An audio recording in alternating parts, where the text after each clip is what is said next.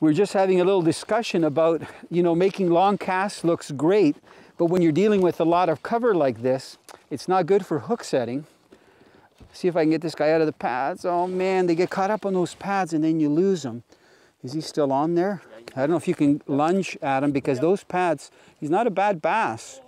Man, this, you gotta, have you thought about operating a lodge up here? What did that bass have for lunch? TriggerX frog. That's why it's so important to pause that split second, keep reeling, wait till you feel the fish, and then nail the hook. So he ate it. So the one nice thing about these things is they're soft. And hopefully he's only got one hook in them, because, yeah, perfect. Look at, here, look at this. That's what, I took his meal away. Let me just spread the legs so it looks nice here. I took his meal away. There's the frog. I'm using a black one because I'm partial to dark colors when it's overcast because I really believe that it casts more of a silhouette because black is a lack of color. Regan's got on that frog that's kind of chartreuse. It's nice and bright and both can work really well.